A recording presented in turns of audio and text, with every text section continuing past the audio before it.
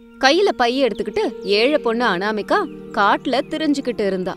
ஒரு இடத்துல சுசீலா விறகு வெட்டிக்கிட்டு இருந்ததை பார்த்தா. என்ன அனாமிகா இன்னும் உனக்கு எந்த காய்கறியும் கிடைக்கலையா? கிடைக்கலடி.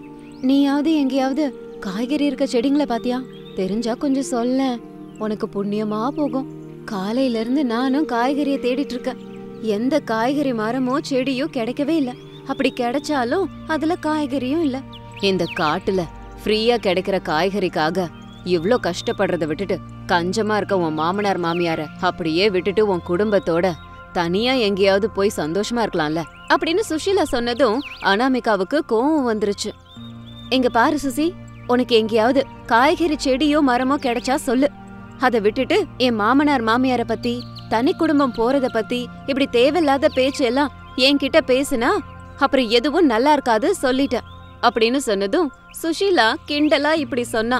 அடடடடா கஞ்ச மாமனார் மாமியார் கொடுக்கற கஷ்டத்தை பொறுத்துக்கிற அதுக்கு ஒரு கோபமும் வரல. நீ தனி கொடுத்தனும் போன்னு நான் சொன்னதுக்கு இவ்ளோ கோபம் வருதே. அதனாலதான் ஏழையாவே இருக்க. வார்த்தைய அளந்து பேசு சுசீலா நீங்க எப்படி இருந்தா எப்படி போனா எனக்கு என்ன? நான் இந்த இடத்துல எந்த காய்கறி மரமும் பார்க்கல செடியும் பார்க்கல எனக்கு அதை பத்தி எதுவும் தெரியாது. இத மட்டும் சொல்லு. எங்க மாமனார் மாமியார் கஞ்சோன்றதுக்காக அவங்கள விட்டுட்டு தனி குடும்பம் போ சொல்ற? யாராவது அப்படி சொல்லுவாங்களா? எல்லாரும் ஒன்னா சேர்ந்து ஒத்துமையா இருக்கணும் தானே சொல்லுவாங்க. ஏதோ நீ கஷ்டப்படுறத பார்த்துட்டு நான் உன்கிட்ட அப்படி சொல்றேன். நீயே சொல்லு? உனக்கு என்ன குறை? மூணு பால் குடுக்கற மாடு. அது நிறைய பால் கொடுக்குது. அதை வித்து பணம் கிடைக்குது. மாட்டோட சாணத்தை விக்கிறீங்க. அதுலயும் பணம் கிடைக்குது இல்லையா? அப்படின்னு சுஷீலா சொல்ல சொல்ல அத அனாமிகா கேட்டுக்கிட்டு இருந்தா. தானியத்தை விளைவிச்சு மார்க்கெட்ல நல்ல விலைக்கு தான் விக்கிறீங்க. அதுலயும் நல்ல பணம் வருது. அந்த பணம் வச்சுக்கிட்டு நீ காய்கறிக்காக காலையில இருந்து காடு முழுக்க இப்படி அலையறதெல்லாம் நல்லா இருக்கான் சொல்லு. அவசியம்தான் சுசீலா. ஊர் மக்களுக்கு வேணா என் மாமனார் மாமியார் கஞ்ச மாதிரி இருக்கலாம். ஆனா அவங்க ஏன் இப்படி பண்றாங்கன்னு எனக்கு மட்டும்தான் தெரியும். வீட்டுக்காகன்னு சொல்லுவ. அவ்வளவுதானே? ஓஹோ அப்போ உனக்கு விஷயம் தெரியும். தெரிஞ்சும் நீ ஏன் இப்படி சொல்ற? அதான் எனக்கு புரியல. வீட்டை நல்லபடியா கட்டி முடிக்கணும்னு அத்தையும் மாமாவும் நினைக்கிறாங்க. சரி சரி. வர்றது மழைக்காலம் கட்டுறது என்னமோ இப்பவே கட்ட சொல்லு. ஆமா சுஷீலா. நீ சொல்றதும் சரிதான். அப்படின்னு சொல்லிட்டு அனாமிகா அங்கிருந்து காய்கறி செடியை தேடி காடு முழுக்க மறுபடியும் அலைஞ்சுக்கிட்டு இருந்தா. பால் குடுக்கற மூணு மாடுகளும் பச்சை புல்ல மேய்ஞ்சுக்கிட்டு நின்னுட்டு இருக்கும்போது அதுங்களுக்கு கொஞ்சம் பக்கத்துல அனாமிகாவோட புருஷன் ரமேஷ் கையில குச்சிய வச்சுக்கிட்டு சோகமா நின்னுக்கிட்டு இருந்தான்.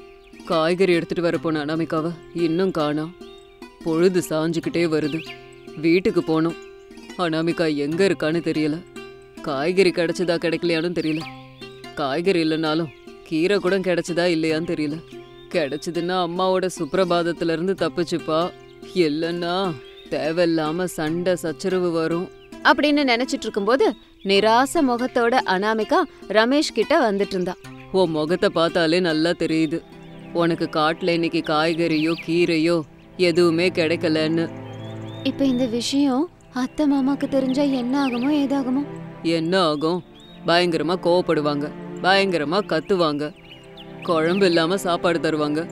வேண்டான்னு அடம் பிடிச்சா காரப்பொடியும் உப்பையும் தருவாங்க. அதையே சாப்பிட சொல்லுவாங்க. என்னங்க இது? தினத்தோறும் இப்படி இருக்கே. இது என்ன புதுசா உனக்கு? தினமும் தானே நடக்குது. ஒரு நாளா ரெண்டு நாளா?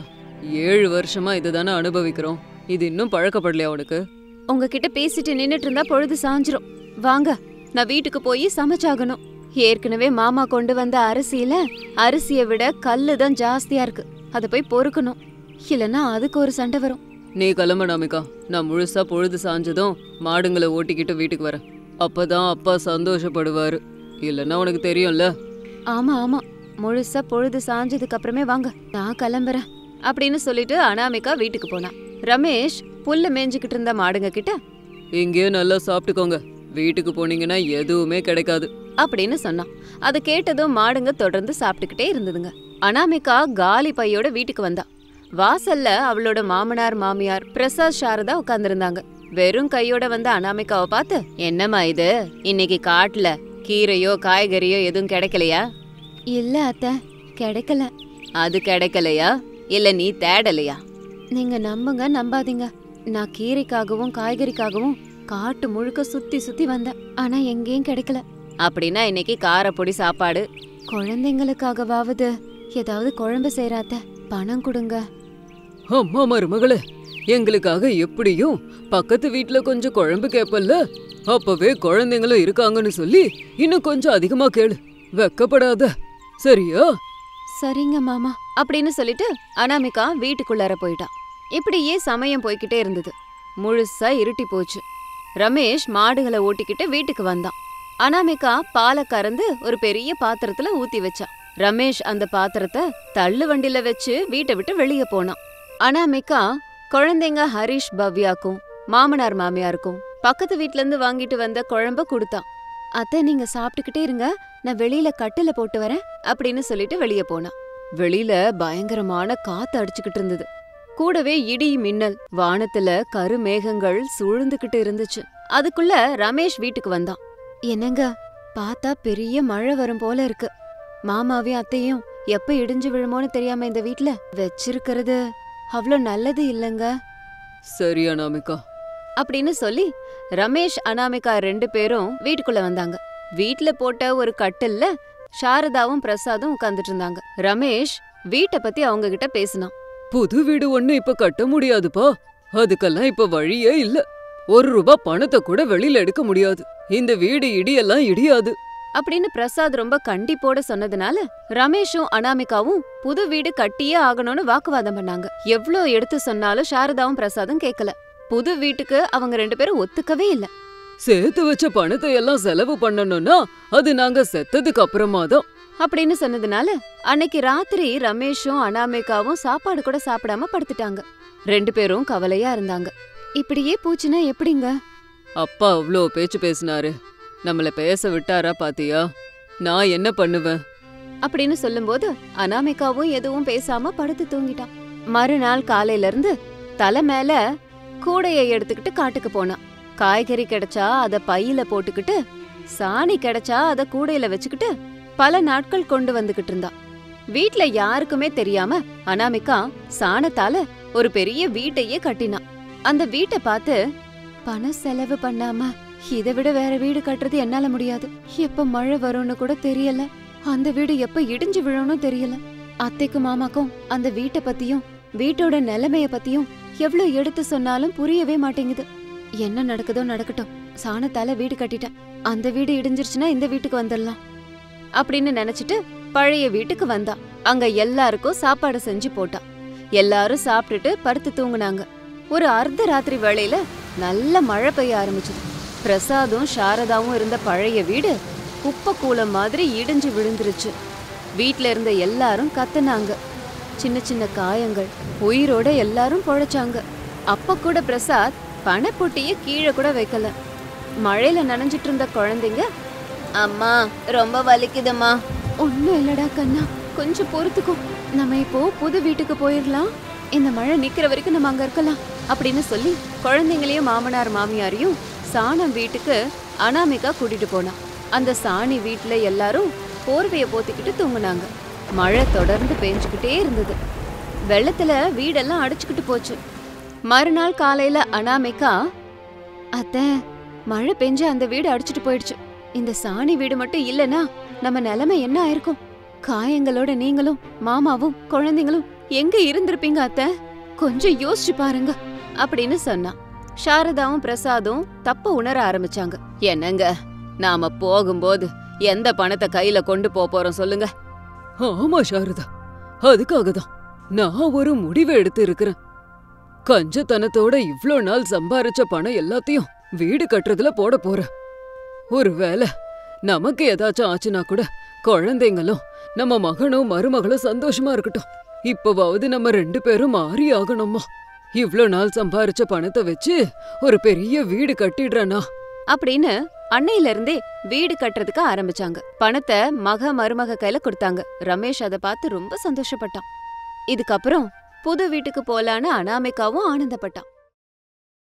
ஜொரத்துல படுத்துக்கிட்டு இருந்த மருமக அனாமிகா கிட்ட மாமியார் சாரதா போனை எடுத்துக்கிட்டு கோபமா வந்துகிட்டு இருந்தாங்க.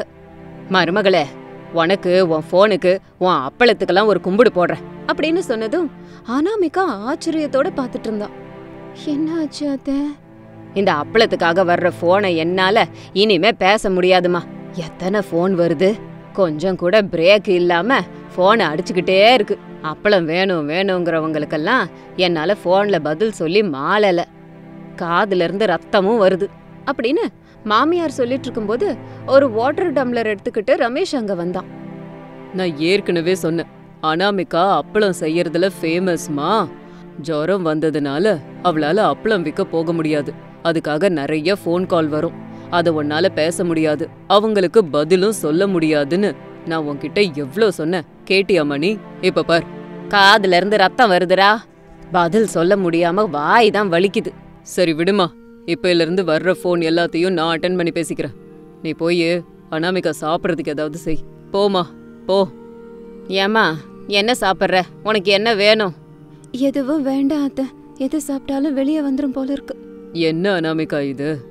எங்களுக்காக இல்லைனாலும் உன் அப்பளம் கஸ்டமர்ஸோட நல்லதுக்காகவாவது நீ சாப்பிடணும். டேப்லெட்ஸ் போட்டு நல்லாகு. மறுபடியும் அப்பளம் விற்க வெளியே போகணும்ல? இல்லைன்னா ஃபோன்ல வெள்ளை பெருக்கே வந்துடும் ஐயோ என் கஷ்டம் உங்களுக்கு புரியவே இல்லைங்க. எனக்கு பசிக்கவே இல்லைங்கிறேன். வாயெல்லாம் கசப்பா இருக்கு. எதுவும் சாப்பிட தோணலைங்க. என்ன புரிஞ்சுக்கோங்கள ரெண்டு நாளா ஜுரத்துல இருந்தல்ல? அப்படிதான் இருக்கும். சரி விடு. நான் இப்ப சப்பாத்தி செஞ்சு கொண்டு வரேன். பையன் குடுக்குற மாத்திரைய முதல்ல போடு. சரிங்க அத்தை. அப்படின்னு அனாமிகா சொன்னதும் சாரதா அந்த இடத்த விட்டு கிச்சனுக்கு போனாங்க. அனாமிகா இந்த இந்த டேப்லெட்ஸ் எல்லாம் போடு. அப்படின்னு ரமேஷ் அனாமிகாக்கு டேப்லெட்ஸ் கொடுத்தான். அனாமிகா அந்த டேப்லெட்ஸ் எல்லாம் போட்டு தண்ணி குடிச்சான். அதுக்கப்புறம் ஃபோன் அடிக்க ஆரம்பிச்சிடுச்சு. ரமேஷ் அந்த ஃபோனை எடுத்து பேசினான். ஹலோ சொல்லுங்க. ஹலோ அனாமிகா இல்லையாங்க? ரெண்டு மூணு நாளாவே அப்பளம் விக்கிறதுக்கு வரவே இல்லையே. அனாமிகாவோட அப்பளம் இல்லாம என் குழந்தைங்க சாப்பாடே சாப்பிட மாட்றாங்க. குறிப்பா அனாமிகா விக்கிற அப்பளம் தான் வேணும்னு அடம் பிடிச்சு உட்கார்ந்துட்டு இருக்காங்கங்க. ஓஹோ அப்படியாங்க. நான் அனாமிகாவோட ஹஸ்பண்ட் பேசுறேங்க. அனாமிகாவுக்கு ரெண்டு மூணு நாளா ரொம்ப ஃபீவரா இருந்ததுங்க. அதனால தான் அனாமிகாவால வெளியே வர முடியல. அப்பளத்தையும் தயார் பண்ண முடியல. அதை விற்கவும் முடியல. ஐயோ இப்ப அனாமிகாக்கு எப்படி இருக்குங்க? இப்போ கொஞ்சம் பரவாயில்லைங்க. டேப்லெட்ஸ் கொண்டு வந்து கொடுத்துருக்கேன். அவ இப்பதான் போட போறா. கொஞ்சம் போனை அனாமிகா கிட்ட கொடுக்குறீங்களா? ஆ ஒரு நிமிஷம். இதோ தரேங்க. அப்படின்னு சொல்லி ரமேஷ் போனை அனாமிகா கிட்ட கொடுத்தான். களைப்போட அனாமிகா பேசினா அனாமிகா நான் தான் காவேரி அக்கா பேசுறேன். ஆ காவேரி அக்கா பசங்க நல்லா இருக்காங்களா? ஜுரம் வந்துருச்சாமே இப்ப எப்படிமா இருக்க? இப்ப கொஞ்சம் பரவாயில்ல அக்கா குறைஞ்சிருக்கு. வீட்ல செய்யறதுக்கு அப்பளம் இருந்துச்சுன்னா உன் புருஷன்கிட்ட கொஞ்சம் கொடுத்து அனுப்பேம்மா. வீட்ல குழந்தைங்க அனாமிகா ஆண்டி அப்பளம் இருந்தாதான் சாப்பிடுவேன்னு அடம் பிடிக்கிறாங்க. ஐயோ அக்கா ஜுரம் வந்து அப்படியே கடந்த இன்னைக்கு தான் கண்ணையே திறந்த. நாளைக்கு எப்படியாச்சும் அப்பளத்தை செஞ்சு அவர்கிட்ட கொடுத்து அனுப்புறேன். இன்னைக்கு மட்டும் குழந்தைங்கள்ட்ட ஏதாவது சொல்லி சமாளிச்சிருங்க. சரிம்மா அனாமிகா. உடம்ப பாத்துக்க சரி வைக்கிறேங்க்கா அப்படின்னு போனை அனாமிகா ரமேஷ் கிட்ட கொடுத்தா. அனாமிகா டேப்லெட்ஸ் போட்டுட்டல கொஞ்ச நேரம் தூங்கு. நான் அப்படியே நிலத்து வரைக்கும் போயிட்டு வரேன். சரிங்க. மாடுகளை ஜாகிரதையா கட்டுங்க.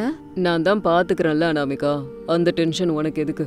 அப்படின்னு சொல்லிட்டு ரமேஷ் அந்த இடத்த விட்டு வெளியில போனான். கிச்சன்ல இருந்த சாரதா அப்பளம் செஞ்சு விற்கிறதுனால மருமக அனாமிகா அப்பளம் அனாமிகாவா பேர் வாங்கிக்கிட்டாதான் நானும் தான் இருக்கனே.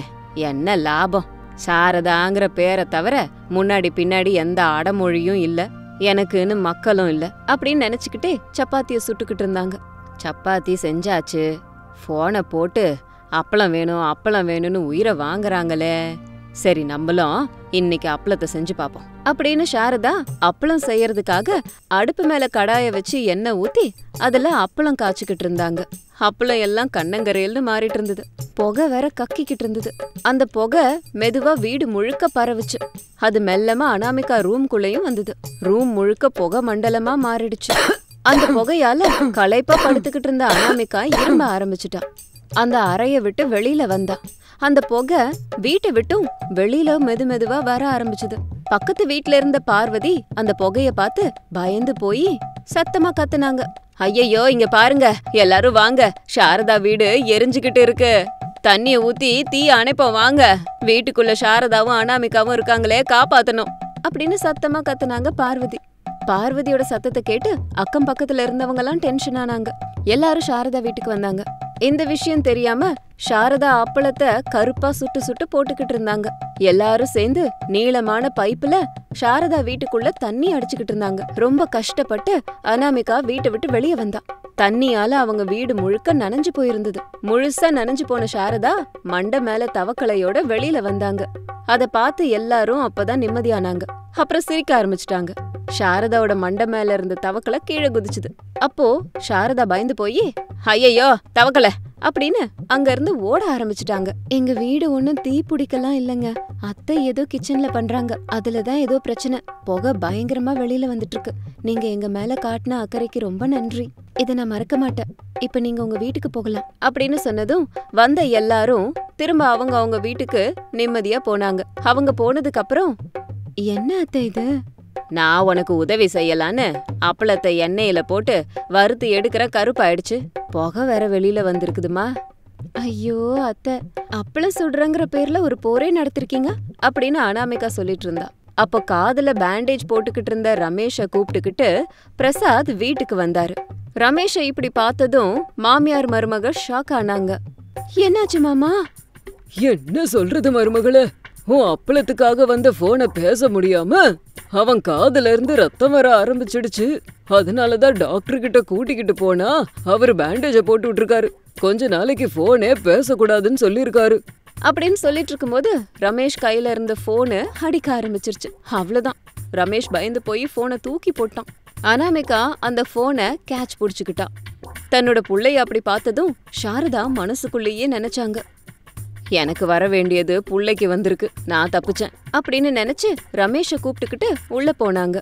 போன்ல அனாமிகா பேச ஆரம்பிச்சான். நாளையில இருந்து அப்பளத்தை கொண்டு வருவேங்க அப்படின்னு சொல்லிட்டு அனாமிகாவும் வீட்டுக்குள்ளார வந்தா. அதுக்கு மறுநாள்ல இருந்து அனாமிகா வழக்கம் போல அப்பளத்தை விக்கிறதுக்கு அப்பள கூடைய எடுத்துக்கிட்டு வெளியில போக ஆரம்பிச்சான். அனாமிகா மறுபடியும் அப்பளம் விற்க ஆரம்பிச்சிட்டான்னு கேள்விப்பட்டதும் நிறைய பேரும் ரொம்ப சந்தோஷப்பட்டாங்க. மறுபடியும் அனாமிகா கிட்ட அப்பளம் வாங்குனாங்க. கொண்டு போன அப்பளங்கள் எல்லாம் முழுசா வித்து போச்சு. அனாமிகா அப்பளம் வித்ததுல கிடைச்ச பணத்தை வச்சு சந்தோஷமா குடும்பம் நடத்தினா. அத்தை சாயந்தரம் ஒரு நாலு மணிக்கு ரெடியா இருங்க. பஜார்ல மசாலா அப்பளம் விக்கிறதுக்காகவாமா ஆமா அத்தை. காலையில சாப்பாடுக்கு சாப்பிடுற அப்பளம் விக்கிறல்லம்மா இப்ப சாயந்தரம் பஜார்ல மசாலா அப்பளம் கண்டிப்பா விக்கணுமா? சொல்லு.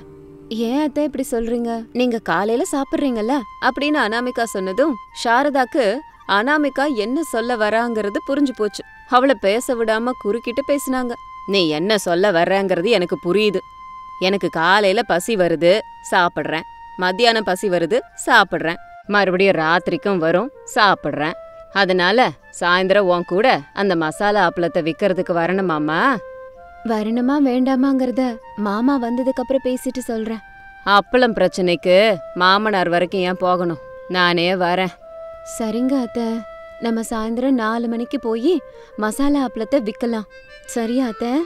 சரி மருமகளேன்னு சொல்றத தவிர எனக்கு வேற ஏதாவது சொல்றதுக்கு வாய்ப்பு இருக்காமா? அப்படின்னு சொன்னதும் அனாமிகா சிரிச்சுக்கிட்டே அந்த இடத்த விட்டு போயிட்டான் கொஞ்ச நேரம் போனதுக்கு அப்புறமா பஜார்ல ஒரு மரத்தடியில மாமியாரும் மருமகளும் உட்காந்து மசாலா அப்பளத்தை சுட்டு வித்துக்கிட்டு இருந்தாங்க. வாங்கய்யா வாங்க. சுட சுட மசாலா அப்பளம். தயாரா இருக்கு. ஒரே ஒரு அப்பளம் பத்து ரூபாய் தான் நல்ல ருசியா இருக்கும். சூப்பரா இருக்கும். ஒன்னே ஒன்னு சாப்பிட்டு பாருங்க. இன்னொன்னு நீங்களே வாங்குவீங்க. அப்படி இருக்கும். எங்களோட மசாலா அப்பளம். அப்படின்னு வித்துக்கிட்டு வர்றவங்கள்ட்ட பணத்தை வாங்கிக்கிட்டு அனாமிகா அப்பளத்தை கொடுத்துக்கிட்டு இருந்தா. மசாலா அப்பளத்தை பேப்பர்ல வச்சு எல்லாரும் சாப்பிட்டுட்டு இருந்தாங்க.